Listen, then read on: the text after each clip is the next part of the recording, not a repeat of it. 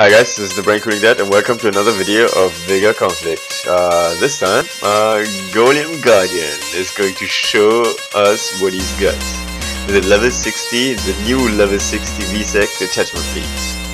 Let's have a look. Oh shit, we missed it. Oh man, we missed the beginning. Okay, so he has, uh, he's got uh, a Ragnar carrier with deflector shielding and uh, three dreads one with Aurora Ray, second one with Echo Rays, and the third one with, I think, also, again, Aurora Rays. Okay, so, yep, see, I mean, oh no, oh, it's the Gatling gun, I didn't know, I didn't know, okay, cool, so what, he, what he's showing off is that, uh, first of all, he's showing off his friggin' red, uh, which I'm still very jealous of, and secondly, he's showing us um, how, how easy, well, how easy it is to do this event with the right fleet, obviously. So, um, and ouch, ah, damn, didn't go well, I did it. Alright, I, I think he's got it though, he's got it, yeah, he's, he's got it, he's got it, so he's going, going to, ah, kill, oh, no way, sugar, how did you do the dread? No, I think he, he just um, strafed too long. Uh, so he got into, into, the firing range of these friggin' annoying eagle frigates, uh, which makes, uh, yeah, I mean, they're really annoying so. So anyway, uh, I think he can pull in the rest off fairly easily. He still has 3 minutes um, and only 2 Zeals left, 3 Eagles and 1 Corinthian Cruiser. And uh, still those useless, friggin' annoying Lance destroyers, which make totally no sense in this fleet whatsoever, which I have mentioned already in my previous video. And I mention it again, I mean, they, they basically um, force you, since you are running on a time limit, to suicide rush this fleet and which extends obviously um, the repair time. So you don't have, you won't have the time if you want to kite, as as uh, Guardian here shows. Uh, if you want to kite the fleet, you won't have the time to actually uh, go back uh, within a uh, within. Oh wow, look at that! No, he's gonna lose another dread. No shit, and it's all my fault. He's gonna blame me anyway. So he won't he won't have uh, he won't have enough time to go back and destroy these uh, destroyers. Um, yeah, due to the due to the time limitation, and I mean, look look at these guys. Seriously, they're like five million kilometers away. Uh, it's gonna take him at least a minute to traverse this this space over here. Once since he's already since he's already at the edge. Uh, so, and he still has to take out one Z, two Zeals, and one Eagle frigate. So I would say, yeah, it's uh, GG. yeah, no man. Okay, that's uh, that was a shitty pun right there. Well, um, okay, so he lost uh, he lost two dreads, uh, but uh, bear in mind this is wow, look at that. So this is a it, this is a VSEC detachment level 60. So it's the it's the latest upgrade to KixEye's uh, Revolution, whatever, uh, Fleet Revolution. So yeah, um, anyway, so he's he's gonna to he's going yeah since he's reaching the berry he's, he's going to turn around now. He has to also make him he has to yeah go back and try to get these lance destroyers out of the way uh, ASAP. He still has one zeal at the back, which he can actually still destroy with his Ragnar carrier, and um, his dread should be fast enough in order to go get um, uh, to these lance destroyers. If he actually no, he won't do it. So he's gonna go, he he returns. Um, okay, he's turning around in order to get the zeal. Won't have enough time left to, to do the Lance destroyers. Okay, that's cool. Uh, Tonkis, uh, yes I am. so yeah, um, he's uh, he's uh, making fun of me. Uh huh, very funny. Anyway, um, so what else what I wanted to say? Oh no, no, no! He's oh my god, he took hit. No way, for real, that was so bad. Oh man, this is all my fault. He's gonna blame me for the repair time. Well, I mean, he is, he's done the event already. He's, I think, at 1.9, oh, was it 1.6 or 1.9 million points. So um, he's got a lot of uh, res, um, a lot of a lot of points left for the rest exchange, and also, I mean, he can just yeah, this is this is just uh, this is fun for him. Um,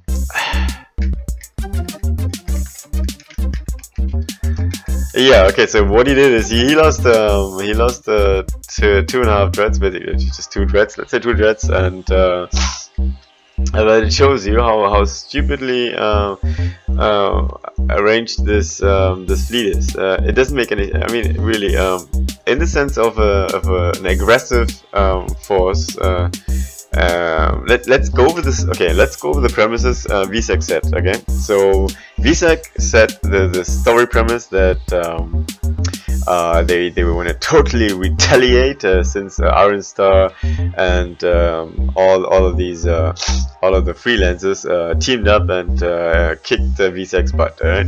So now um, VSEC is throwing um, at us um, these detachment fleets. So hence also this upgrade to level 60 fleets uh, and the increased number of sh uh, the ship detail within the fleet. So you've got 10 ships instead of um, uh, instead of uh, usually six. Well, I mean, uh, everybody has uh, six ships available, right? So this is a this is a massive increase. Uh, the highest we had uh, so far um, was I think it was nine. do during the Zeal event, we had nine ships, and now we have ten.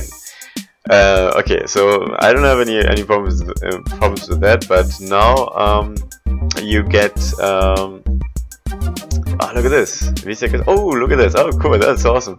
So, Golem uh, just uh, unlocked another uh, base attack. So, let's have a look at his base. Wow, damn.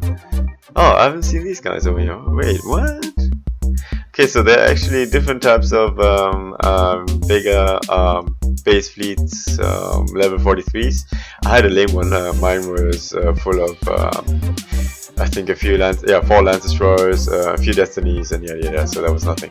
But these were, um, well, that was it, first rate uh, Corinthian Cruisers, and they're gone, and he gets another 46 million, how, how many points? I think 46,000.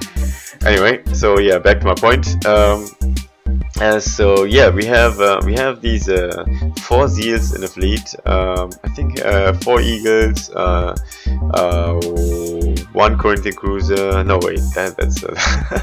I gotta have a look again. Let's have a look again. So we have. Uh, this is basically the same thing, just uh, high difficulty. Okay, so we have one, two, three. We had four Zeals. Bam, bam, bam. Yep. check. So we have two Eagle frigates, check, one Corinthian and four, uh, two Lance destroyers. Yeah, so four, two six, two eight, yeah, that's ten, ten ships. okay, so um, basically, uh, what this fleet forces you to do, since you can't, uh, you can't run away and kill the faster ships, um, and destroy the slower ships the, in the in the same run in a single run uh, since uh, uh, the the the, um, uh, the movement speed of uh, the the combat speed of those Lance Destroyers is super slow.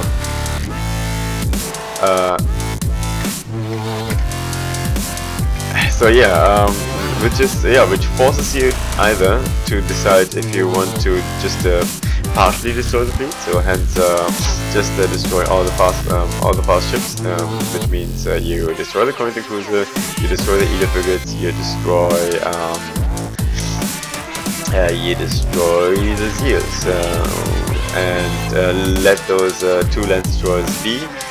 do them either in the second round or just let them be in general, um, which is kind of again, I mean, really, it's it's uh, this is the decision you have to make. This is the call you have to make. Either you do that, or you do a head-on fight uh, with this VSEC, um, uh, risk a lot of repair time, but uh, and leave him. I mean, the thing is, you can he, basically what you can.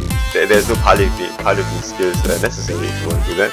You just uh, let him on, on order, because um, as soon as VSEC gets into range and they, they, their fly pattern is in that way that they try to circle you around, uh, circle around you and uh, around your ships, and um, basically get you into crossfire. So there is this is basically a suicide run. Um, so if you have the perfect, I mean, even if you have the perfect shielding, uh, uh which is impossible unless you have metaphasic shielding, which is not good enough since it, let, it lets through uh, uh, lets um, through 20% of damage. So any either way, I mean anyhow, there's no way you can mitigate damage whatsoever and um, uh, get 100% uh, get a get a 100% kill of a fleet within a single within a single round, unless you are you are you have um, uh, pretty high level fleets, as in I don't know, uh, maybe Ragnarok, uh, a few dreads, and then time it's so good that uh, you can uh, kill. Oh, look at that! Someone is killing a thief, so that you can really fast kill. killing a thief with an eagle. Um, kill, um, yeah, kill, kill, all these fast ships, and then actually in time return uh, to the Lancer Scrolls and kill them as well. Uh, which is, uh, I mean, in my opinion, I haven't, I haven't seen this happening yet. Uh, maybe there's some pro players, you know, there's awesome pro players out there um, who, who calculate the time they need uh, to destroy all these fast ships and then you know uh, and uh, give them give themselves a time limit in order to return to to make a U-turn and return uh, towards uh, the Scrolls. So, I mean, most probably it's, it's possible, but we are talking here about average players. Not everybody is a pro player. Um, I mean, I don't think most of the most of the bigger bigger conflict players are pro players. Uh, so yeah, it, it just uh, it's it's it's really I don't know. It's just this is one of these events uh, I really don't enjoy regarding the repair time. I mean, I just I just lost again. I have another four and a half hours repair of repair time. Thanks. Uh, yeah, thanks to um, a stupid, uh, stupid what, stupid uh, thing VSEC uh, does. They are speed buffed. Uh, I mean, without comprehension, seriously. So they catch up to um, not particularly to the airport, but uh, with a to a rear 5 uh, Valhalla uh, car carrier, um, which is another thing I really. Uh, I mean, the thing is, they are already buffed as it is. They have they have a mixed fleet. They have uh, they have um, they have AP drivers, they have energy bombs, so they basically deal every type of damage. And um, either way, they will make you suffer in, in terms of repair time. So and then and then him them a speed buff and then also range buff and yada yada. yada. So it kind of adds up. Um, uh, there, there are too many buffs. Um, even for VSEC, I mean, wow, really? Uh, it's just you gotta uh, you gotta be a little bit. I mean, a little bit consistent in within the law and within the possibilities you have, um, and not OP um, uh, ships, event ships, uh, just because you can do so.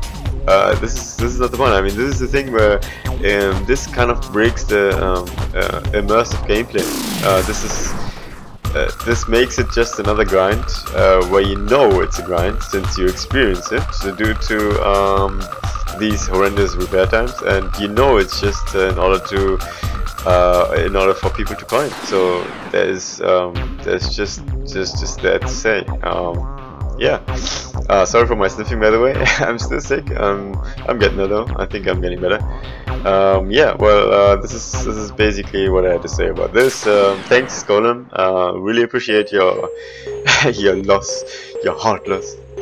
Uh, showing us um, your awesome uh, tactic uh, with three dreads, uh, your Ragnar cruiser, and sacrificing it for the greater good, uh, showing us uh, um, how you did, uh, how you completed this event. Uh, I will try to get my, um, I'll try to get it done as well. Uh, most probably uh, wear my level 53 fleet with three Mark II Revelation cruisers, one Valhalla um, carrier, and two regular Revelation cruisers, and see if I can, you know, wear them down um, until I get this event done.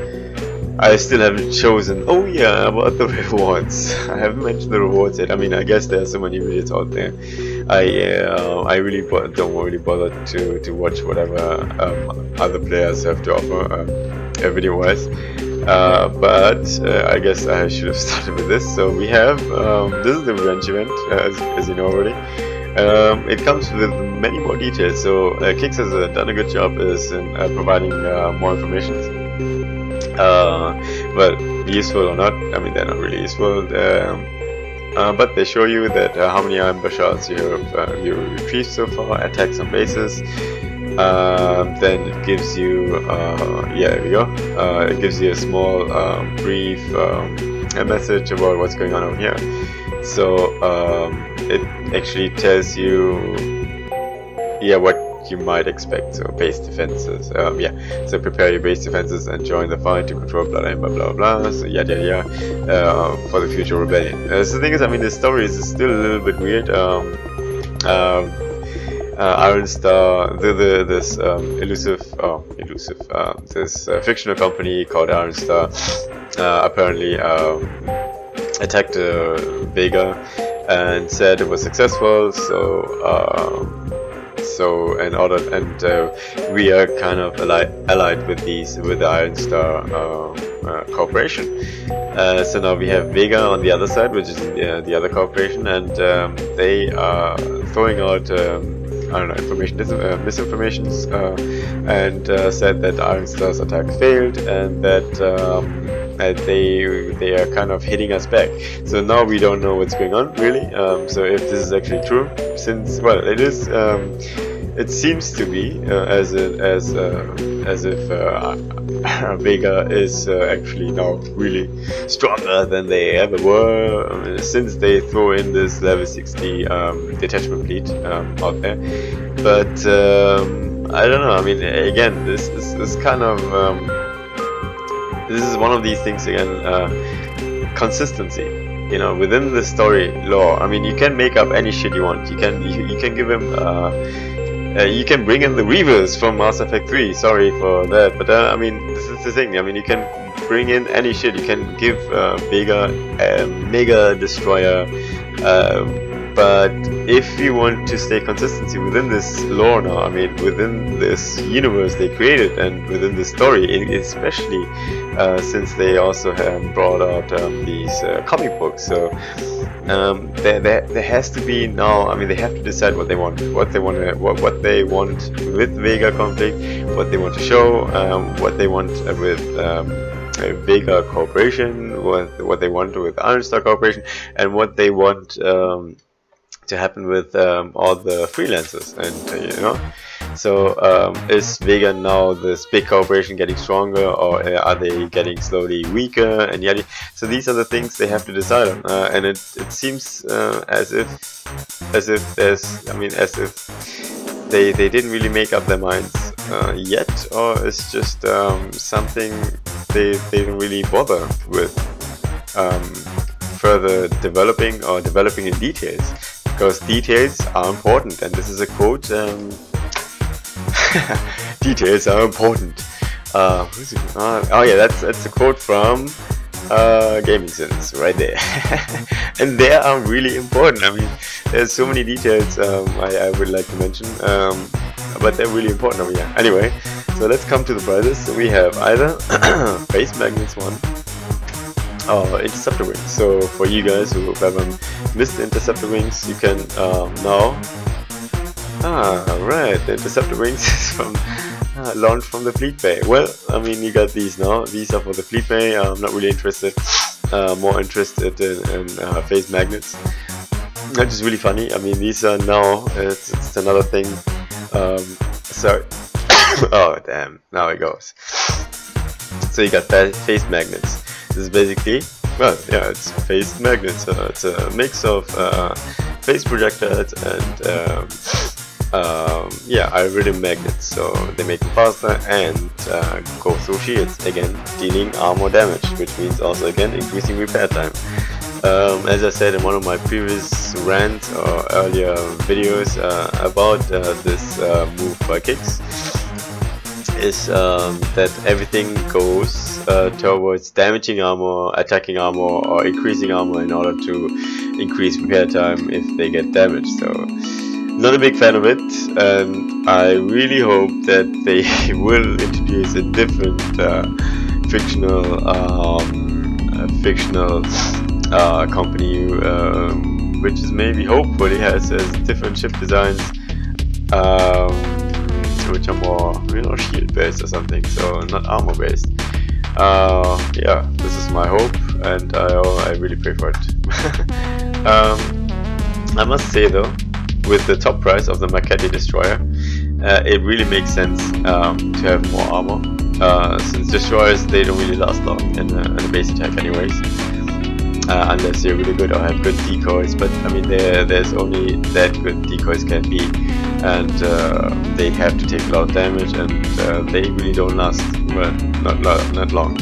Uh, so we have this uh, Makati uh, destroyer which has um, well a fairly low uh, base health but it has two armor slots so yeah can actually put Iridium 3 on, Seed 3 type um, level 3 times 2 on and then you have two specials um, for example rear 5 and phase magnets 5 so that's possible. And it's really good. I mean this is this is where I say armor makes sense for destroyer. Since I mean you will use one fleet of destroyers once and then let them repair overnight. But with other ships it doesn't really make sense to put like for example the, this useless heretic cruiser sorry to say that again. But it really doesn't make sense to um, um, yeah to there we go the blueprints where's the heretic cruiser there we go it doesn't really make sense uh, to um, yeah cruisers to use armor or high armor anyway uh, but the possibility is there, so it's cool anyways. I mean, obviously, uh, you gotta have all these options. Um, for me, it's still a useless ship. Um, yeah, that's about it. That's uh, that's what I have to say about Vega Conflict. Thanks, Golem, again, for showing us um, how to do a level 60 uh, detachment fleet. Uh, I hope you guys like this. Uh, please like and subscribe, and leave a comment below in the section uh, in the comment section below. That'd be really helpful, and uh, spread the word of VRA and the Brain Cooling Dad. Alright guys, uh, I hope to see you guys in the next video. Um, also next coming up is more Rage gameplay. Oh yeah, so yeah, stay tuned for more. Uh, this is the Brain Cooling Dad and I'm signing out.